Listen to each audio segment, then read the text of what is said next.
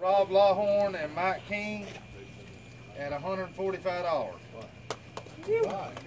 Uh, their weight was you go, hold on. 1331 and uh, just a hair above them at 1342 got second place which was uh, Jamie Johns and uh, Mickey Roach at 13.42 pounds and had Big Fish also at 7.42 so they get uh, 195 for second place and 120 for big fish.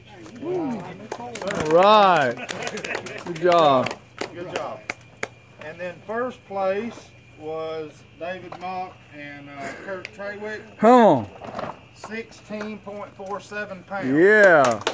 They also had a big fish. They had two good fish, six, 6.10 and a 5.1, 5.8.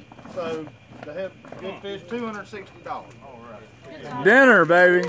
Yeah, thank you. Good job. And with that said, See you in two weeks.